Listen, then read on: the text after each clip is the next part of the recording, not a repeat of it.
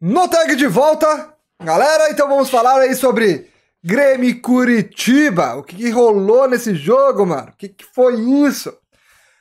Mano, primeiramente, percebe-se que o Grêmio precisa de uma pre preparação física mais, digamos assim, pesada, né, cara? Pesada, porque não tá aguentando, o, o time não tá conseguindo manter aquele bom ritmo no jogo todo. A gente viu claramente neste jogo contra o Coritiba. Esse jogo que era para ter sido fácil, era para ter sido o Grêmio de repente ter feito uns 3 ou 4. O Grêmio diminuiu o ritmo. A gente viu claramente isso. Porém, não vamos falar apenas de, da, do ponto fraco, né, da, da, coisa ruim. Vamos falar de coisa boa, mano. Vamos falar que a mudança do time do Grêmio, tendo um lateral esquerdo de qualidade, que sabe cruzar, que corre, que marca, velho, o que, que foi o Diogo Barbosa? Que atuação dele, velho. Na moral, eu acho que esse cara é titular do Grêmio. Não tem como o Renato deixar ou manter o Cortez.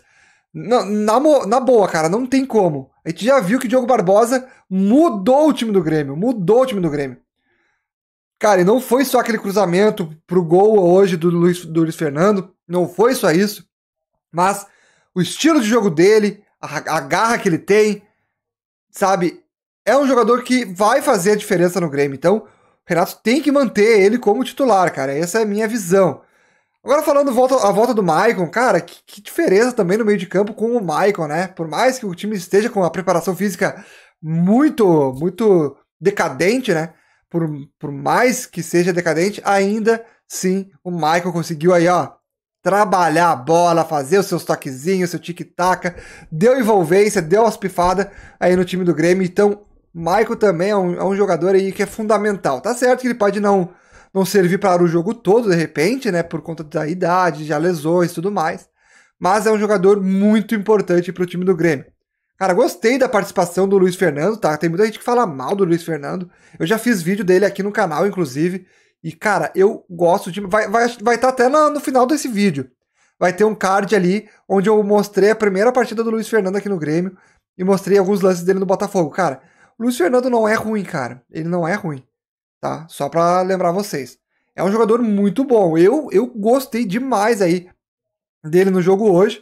E já não é a primeira vez que eu, gost... eu já, já tinha falado dele aqui no, no canal. Então gostei pra caramba do Luiz Fernando. Tá certo que eu quero ainda ver mais do, do Ferreirinha. De repente ainda não é achando, não, não, não, não era a oportunidade para ele. Não sei, cara, mas eu acho que o Ferreirinha deveria estar tá entrando. Pelo menos no segundo tempo, assim, sabe? Acho que isso aí caberia melhor ainda pro time do Grêmio. Cara, o Ferreirinha é um, é um jogador diferenciado, que precisa da sequência, ele precisa estar tá jogando. Não adianta colocar o cara 5 minutos a, de dois em dois jogos pro cara querer pra, pra, pra, querer que o cara faça milagres, entendeu? A gente tem que dar mais oportunidade pro, pro, pro Ferreirinha aí, que é outro jogador aí que é bem diferenciado e, é, e tem muita qualidade aí para acrescentar no time do Grêmio. Pera aí que o cavalinho tá morto. Pera aí. Ô cavalinho. Ganhou, cavalo. Hoje é sentadinho aí, pai. Aqui, ó. Aí, mano, agora sim. Mas então, gurizada, uh, o time do Grêmio hoje, por mais que, como eu falei, a preparação física que deu, a, deu aquele brete, o time deu uma decaída, tomamos o gol, mas após tomar o gol, parece que o time acordou de novo, deu uma, sabe, deu um. Pera aí, vamos, vamos controlar essa bola, vamos segurar esse resultado aí, porque, mano, não podemos tomar gol. Tá certo que o gol que a gente tomou também foi um gol de erro ali na defesa, principalmente do goleiro. O Vanderlei em bola aérea, cara, ah, é brabo, velho. Vanderlei em bola aérea é brabo. Não é a primeira vez já que ele dá uma ele dá uma caçada de borboleta ali que complica. Mas são coisas que devem ser treinadas aí uh, no, em off, né? Pelo, pelo, pelo treinador de goleiro, pelo, pelo preparador de goleiros. O Vanderlei necessita treinar urgente, porque, cara, não dá para continuar assim, velho. Ô, Vanderlei, vamos, vamos tomar, tomar jeito aí. Tivemos também aí o último minuto de Marcelo Oliveira nos gramados, vai se aposentar, mas vai virar coordenador técnico aí no time do Grêmio. Marcelo Oliveira que virou um líder dentro do Grêmio, né, cara? Ele é era um jogador que não tinha muito futebol, nunca jogou muito bem, mas era um cara que tinha muita, muito, muita voz dentro do Grêmio. Então, o Grêmio nunca se desfez desse jogador porque é um jogador bom para grupo. E nada mais justo depois dessa lesão que ele teve e que ele não ia mais voltar no mesmo ritmo, na mesma qualidade no, pro futebol, nada mais justo do Grêmio dar essa oportunidade pro Marcelo Oliveira virar coordenador técnico do Grêmio. E, cara, sério, vai é muito da hora, muito da hora aí ter, o, o Grêmio ter, ter dado essa oportunidade para ele, né? Não ter apenas, apenas abandonado o jogador. Isso aí eu gostei demais. Ai, ai, galera, é bom ganhar três pontos, né? É bom, por mais que a gente tenha tido um suspense aí, uma, um pavor, um medo, um joguinho tenso, né, cara? Parecia que ia ser muito tranquilo. Por mais que, a, que tenha acontecido esse, esse, esse, esse pavor aí, ainda a gente fez os três pontos e vamos em busca aí, cara, da, das cabeças aí no, no Brasileirão. O próximo jogo é o Santos no Brasileirão, né? E vai ser, vai ser complicado, mas a gente vai ter que ir com força, né, cara? E outra coisa, né, galera? Uh, a gente tava com bastante desfalque, tá? Zaga reserva, que, mano, mandaram bem. Gostei do Paulo Miranda do David Braz. Gostei, meu David Braz ainda fez gol. É o zagueiro metedor de gol, né? David Braz adora fazer um gol. E gol importante, né? Se não fosse o gol dele, gente tinha, tinha empatado. E importante também do Luiz Fernando, né? Com o cruzamento do Diego, Bar Diogo Barbosa. E teve o lance também de Diego Souza aí, cara.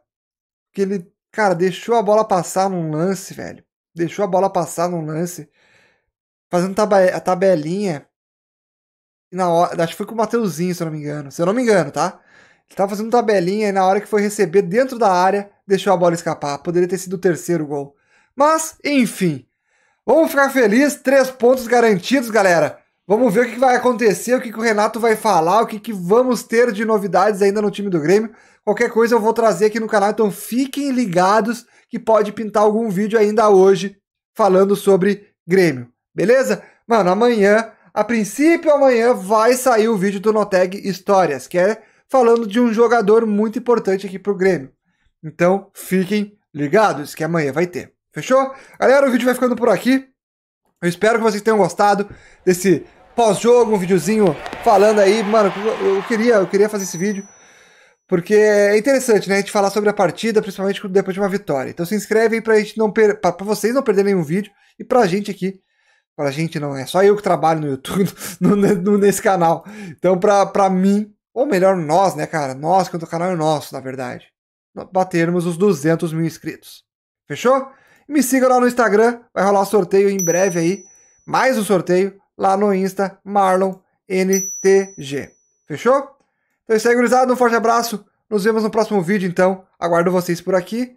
Falou e fui.